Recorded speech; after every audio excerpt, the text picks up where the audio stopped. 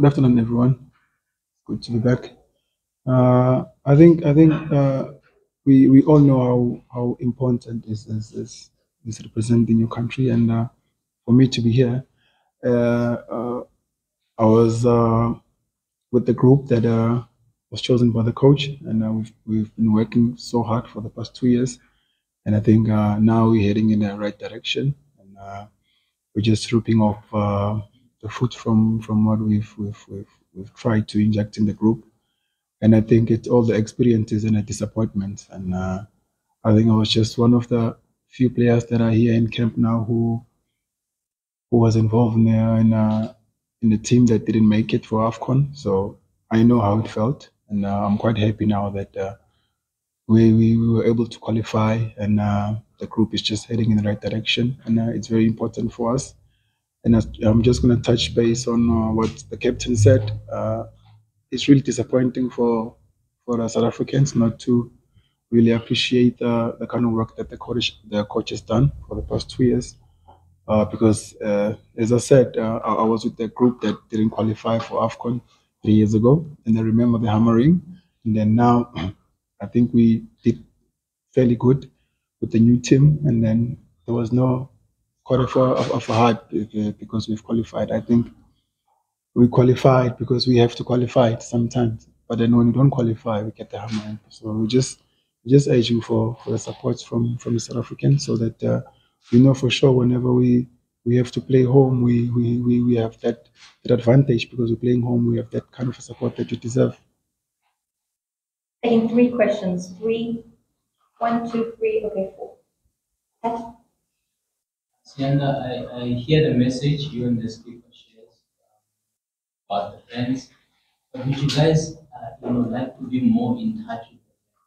Go to the malls, speak to them, do more interviews because since you guys have been in camp, we don't hear much from the team. Only the coach that speaks uh, through you guys. Guys like to be more in touch uh, with us.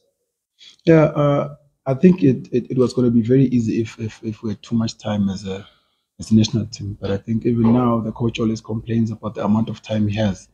I don't think anyone has has, has that much time to, to go and engage the fan from the outside because of I think even now uh, other players are, are only joining us on, on, on Thursday, on, on Wednesday. So there's not much time, but I think it's something that we, we, we can try and, and, and work on as a team. I think that's it's uh, Romi's uh, department to, to, to try and engage the fans. Uh, and I think it, it's it's something that we, we can try to do. But again, the, the, the- challenge is the amount of time that we have as a team. Thanks for that. And we will try, guys. Turn up like this every time we have a press conference, and we won't be denied access. But sprinkling of media, why should we have the press conference? Always keep that in mind. But turn up like this, and we have ammunition, or I have at least. That's it.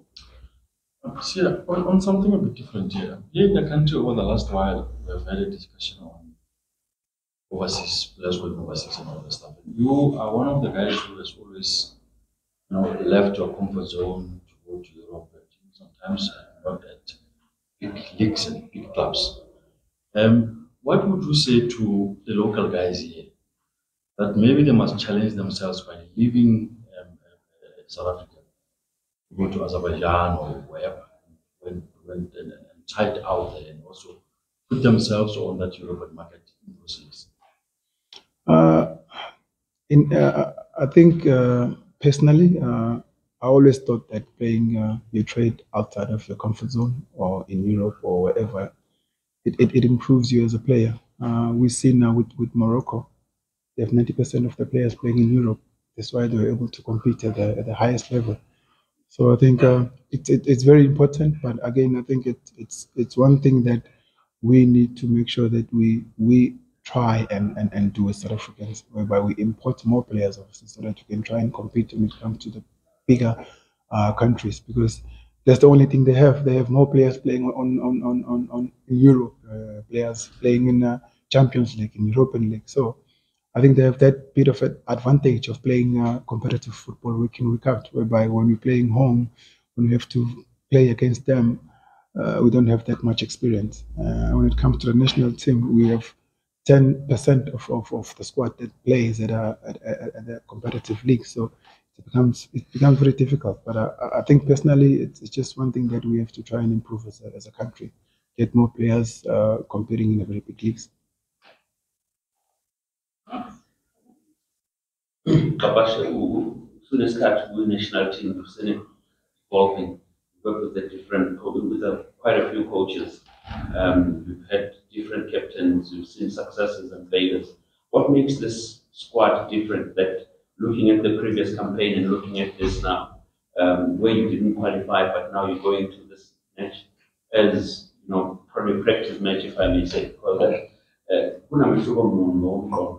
looking at the national team now with the group that you have, how much hope does it bring? And nomyalezo kamkhulu partners mhlawumbe wonke amagebe. Mm.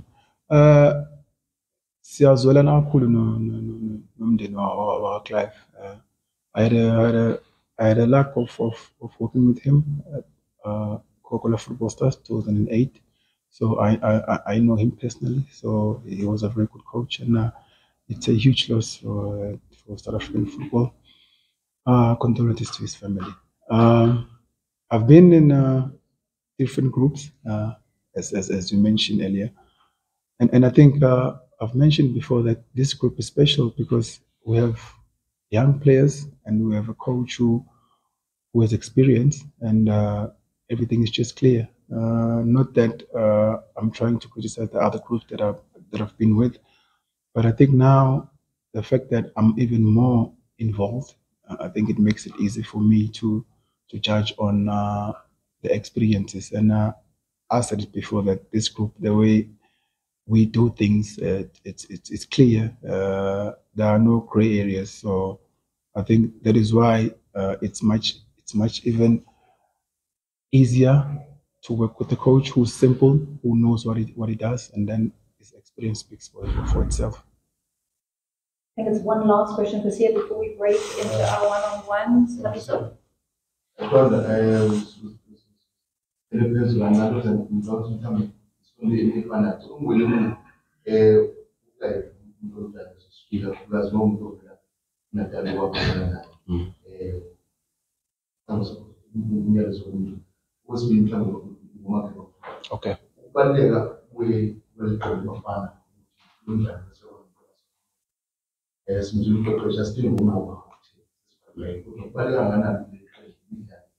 ngezikhombi ikhombise kakhulukazi kumele sikushoyo ukuthi abalandeli bekhona sele bafike banithokomele njengeqembu kubaluleke kakhulu ukuthi simisele kulo mdlalo ngoba eh kujwayeleke ukuthi sidlala amagame amakhulu kangaka sine pressure ekhona eningi.